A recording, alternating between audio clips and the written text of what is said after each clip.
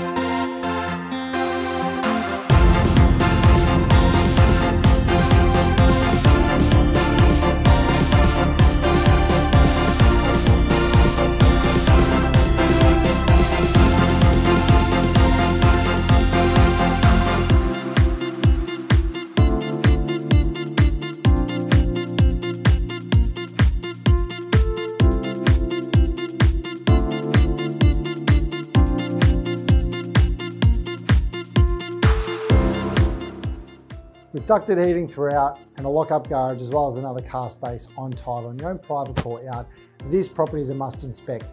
If you'd like to book an inspection, please give me a call.